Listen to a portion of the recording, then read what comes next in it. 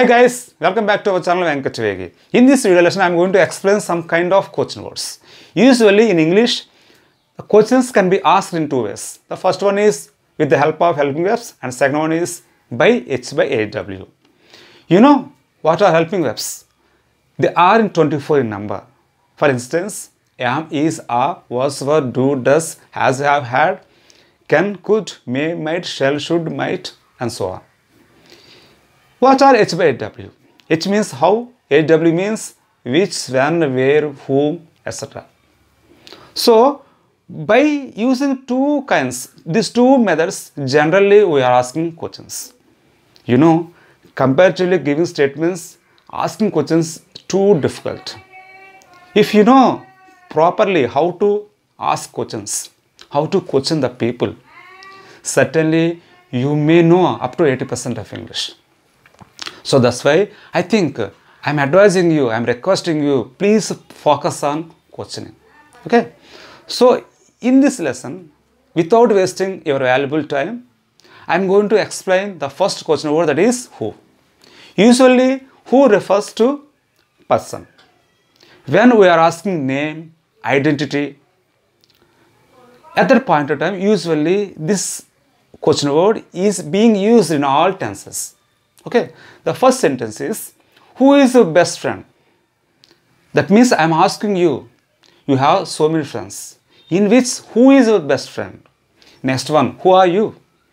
You know, you ask some, someone else. In case of one person, who are you? In case of more than one person, in that case also, you can ask them, who are you? Okay. Next one, who is talking to you? Who is talking to you is present continuous tense. The action which is going on right now. At right now, who is talking to you? And next one, who has left just now? It is in present perfect. Who has just left now? And next one, who will go there? It is future tense, simple future. Who will go there? Who will go there along with you? Who is coming with me? And next one, who was at the party? It is simple past. The action was over. In that action, who was sorry, who was at the party along with you? So, in that way, we can ask some kind of questions with the help of who. Next one, who was dancing when you were cooking? Comparatively, this is a little bit lengthy sentence.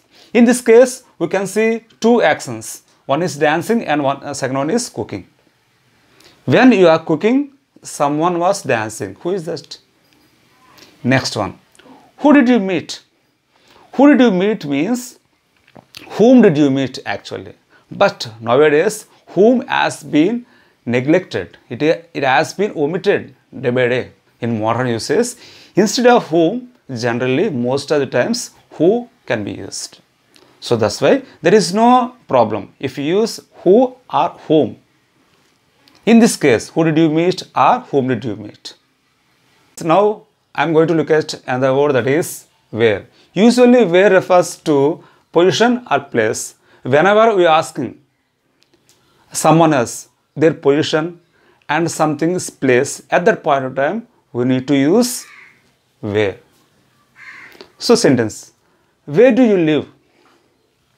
That means I am asking you what is your place of living, what is your place of dwelling. And one more thing here, live, L-I-V, live means as a verb, staying or dwelling.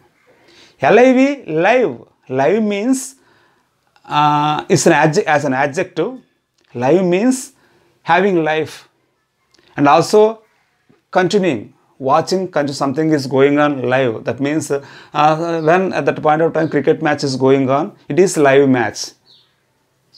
While the match is going on we are watching lively. So in that case also live is used.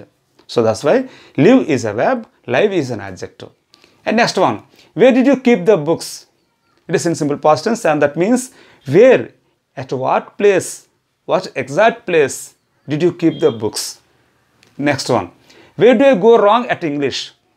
It is a little bit different from other, uh, other sentences. That is, at what point? That means where. at conjunctions or prepositions or active voice, passive voice, direct speech, indirect speech. Where, where exactly do I make mistakes at English? That's what I'm asking. And next one, where have you gone there? I'm asking place. Where? Where have you gone there? Tell me. Next one. Where will you be tomorrow? It is simple future. Where will you be? So do you have any plan to go anywhere else tomorrow? So in this case, where can be used in- on different contexts depending on different situations. Next question word is when when అంటే మనకి తెలుసు ఎప్పుడు ఏ సందర్భంలో ఏ సమయాన ఏ క్షణాన at the what point of time at what time at what moment At what occasion at what circumstances, at what situation. So ఆ రకంగా మనం సాధారణంగా వెన్ని యూజ్ చేస్తూ ఉంటాం. ఎప్పుడు ఏ సమయంలో exact date exact time exact week exact day మనం ఏదైనా అడిగేటప్పుడు ఇలా చెప్తూ ఉంటాం. నెక్స్ట్ టైం చూడండి. వెన్ ఈజ్ బర్త్డే నీ బర్త్డే ఎప్పుడు? అంటే ఇక్కడ మనం స్పెసిఫిక్గా ఒక డేట్ కానీ అడుగుతున్నాం మనం. Is it on thirtieth are twelfth పదమూడున పన్నెండున ఎప్పుడు when is your birthday next one when did you last see him it is a past action when did you last see him means when did you meet him last exactly at what time before did you meet him did you talk to him next one when will i meet you next week when will i meet you? It is a future action. So in future when will i meet you? Next week or next month or next year? When are you free? At that point of time i will meet you. Next one. When have you bought this new car? That means he has bought a new car, but he doesn't know. At that point of time, he is asking the other person who has bought the car, uh, when have you bought this new car? The time, exact time, he is asking exact time. Okay, friends, it is the part one of question words. You know, every question words can be used in different contexts in different ways and different parts of speeches. Friends, next word is when. Usually, when refers to particular time. At what time, at what moment, at what occasion, at what situation, at what circumstances something is going on, something will happen, something happened in the past. At that point of time, we use this kind of question word that is when. For example, for instance, I am going to say some sentences by using this. When is your birthday? That means when is your birthday means exact date. Tell me exact date. Is it on 30th or 12th? Next one. When did you last see him? That means some time ago he met him. At what time did you meet him? At what, what time did you consult him? Did you talk to him? In the same way, on what occasion did you meet him? So, for getting some such kind of meaning, we use when. Next one, when will I meet you? Next week or next month or next year?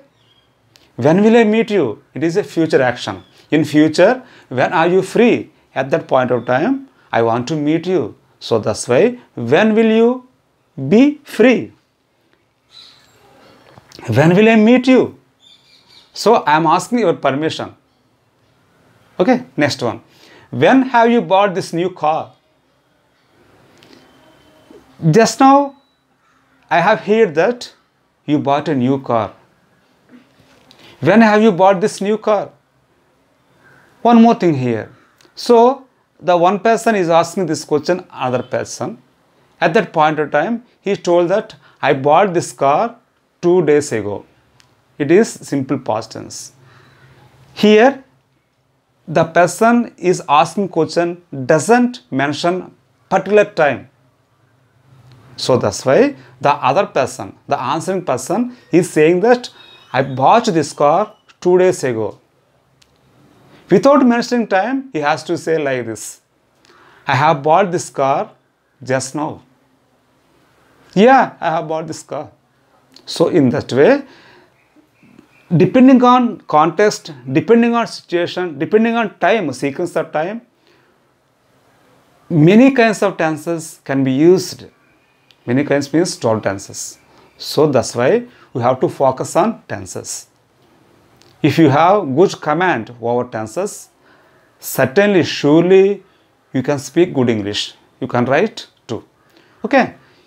If you're really interested in learning, speaking, writing good English, please subscribe my channel that is Venkat Vegi and also comment, share to your friends, well wishers as many as possible, as many as times. Please keep learning, keep staying at home. Thank you for watching my video.